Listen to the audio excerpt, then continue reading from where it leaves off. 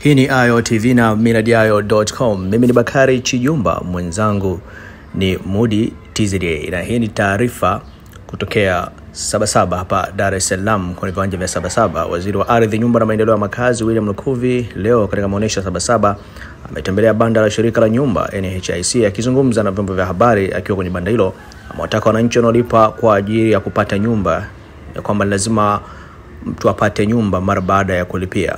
Waziri Lukuvi amesema kwa sasa iwe mwisho kwa wananchi kudanganywa na kwamba wananchi wameonewa sana kipindi cha nyuma, wamechukuliwa fedha zao, lakini wamekuja kupata nyumba baada ya miaka kadhaa, wakati huo wakilipa madeni ya benki na riba ikiwa inaendelea kuongezeka na kuendelea kupanga. Kwa hiyo gharama ya nyumba inakuwa haiwi tena nafuu. Ubunifu wa ujenzi wa nyumba bora na za gharama nafuu ambao umeanza sasa kwa awamu hii.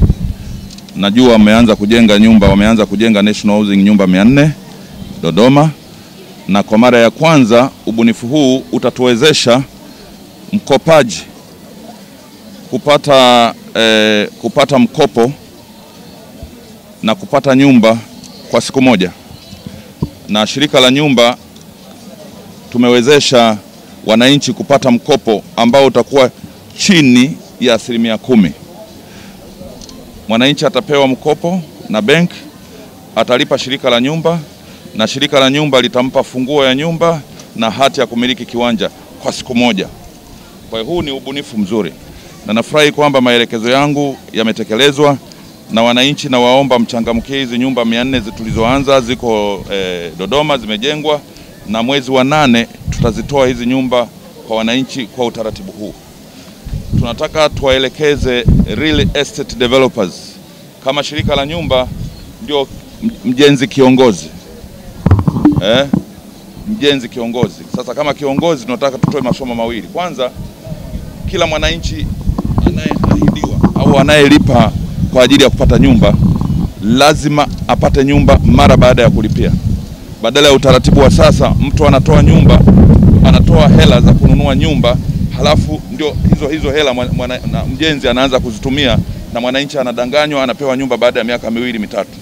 Tunataka tuwafundishe real estate developers kwamba sasa iwe mwisho kwa wananchi kudanganywa, kwa sababu ukimdanganya mwananchi, ukichukua hela yake leo, ujue kule benki wanaanza kumkata interest, na alitarajia apate nyumba leo, kwa sababu humpi nyumba leo, maana yake kule anaendelea kulipa pango la nyumba kule alikotoka.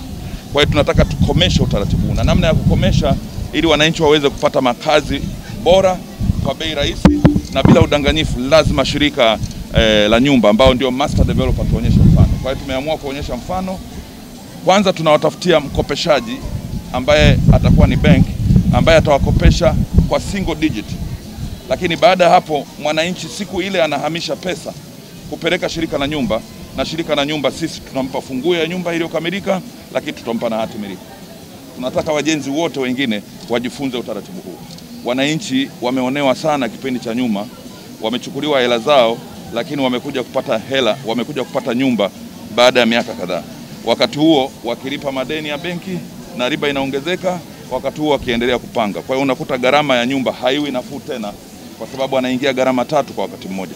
Sisi kama Wizara ya Ardhi tunahusika vile vile na nyumba na makazi, lakini ili mwananchi, tuna namna mbili. Kwanza, kama hii tunajenga ili mwananchi aweze kupata nyumba bora iliyojengwa na shirika la nyumba, lakini pili, tunasanifu viwanja na maeneo yaliyo salama kwa mwananchi kumpatia maeneo ya makazi.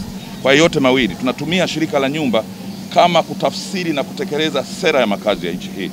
Kwa hiyo tunafanya yote mawili, tunamtafutia mtu alternative mtu anakopa pesa yake lakini hana kiwanja cha kujenga, na matapeli wako wengi. Unaweza ukanunua kiwanja lakini ni feki.